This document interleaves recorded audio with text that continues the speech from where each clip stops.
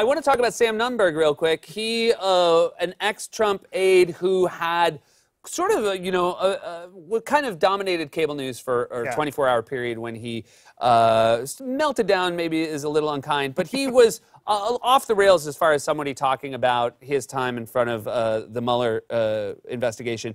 Nunberg was the one who brought you to Mar-a-Lago. He was the one who thought it was a good idea for you to travel with Trump then. And so then you wrote this unflattering piece, and uh, Trump was not happy with Nunberg. Yeah, uh, Trump fired him uh-huh. because of the piece, then rehired him later, and then fired him again.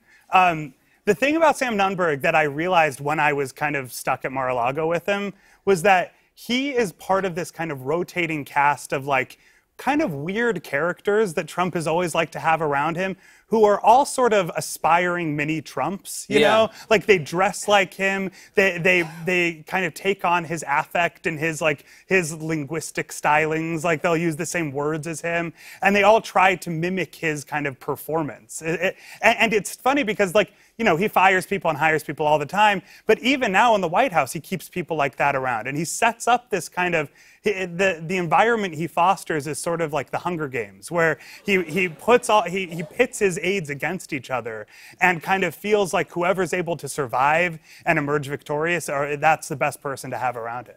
And so the reports, obviously, of chaos. What seems like what you're saying is he likes chaos, but uh, he does not care for the reports of chaos. right. He likes chaos. He just doesn't like the media calling it chaos. Right. Right. I think he actually does thrive in this kind of uh, th- this chaotic environment. He fosters it. He did at the Trump Organization before he was president.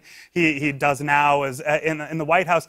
Um, but what he doesn't like is when the media is. Uh, constantly saying, you know, another chaotic day in the White House, you know, and your your nightly monologues about he probably doesn't care for those either. But but the thing is, he he does. It's funny. I think he likes the stories about you know people on the brink of being fired because Yeah. if you think about it, he's always had ever since his apprentice days. He's loved. He doesn't actually like the act of firing people. You know, we've seen reporting about this. He doesn't like sitting down with a staffer and saying, "I'm sorry, this isn't working out." But he likes performing his authority and his power. Yeah. Right? He likes. He you know even on the apprentice, he would practice the delivery of his line and like the swivel of his finger when he like pointed to the person being fired. And he still does that. Like he he likes the the performance of like, look how powerful I am. Uh, everyone's fate is in my hand, and I get to decide which subordinates will survive and which ones won't.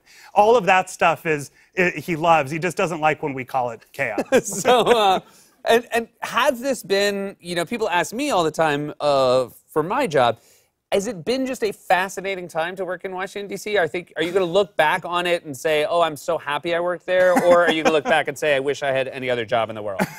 I, I no, I mean I'm glad that I have you know this like front row seat to this historic thing. It's it's just hard because I don't know how it's going to turn out, and Yeah. nobody does. And obviously, those of us who got his presidential aspirations so wrong are very uh, careful with predictions. Yeah. But but maybe we'll look back at this time as like a great moment in American history, um, and, and maybe we won't. Yeah.